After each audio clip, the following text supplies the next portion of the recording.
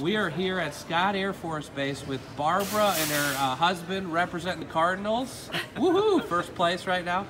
And you came last year with the broken tip. How many years ago was this knife? 62. And what did you ask me, Cutco Mike? I asked if I asked Mike if I could possibly um, hone down the tip of that knife so I could use it again since it's my favorite and knife. tell me what happened when you sent it in. Did I send it in for you? You sent me- Oh my sent it in goodness! Talk me. about customer service. yeah, and So then and when I got it back, I couldn't believe it. I could have sworn that they had just replaced the blade. oh my goodness! All And- of my friends don't believe it. They say the blade was replaced and it didn't get sharpened. But Uh.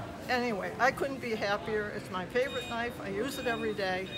And you're back again at back the Cutco again stand. at the Cutco to stand. do what? To buy more, right? To buy more. And share your wonderful Yeah. testimony. to, buy, a, to buy a serrated bread knife for my artisan bread. I love it. So would you endorse Cutco? Absolutely. And sir, would you endorse Cutco? By all means. Is your wife happy every time she uses these knives? She certainly is. In fact, uh, those knives were heavily used, all of them, when we bought the whole set I love it. way back then.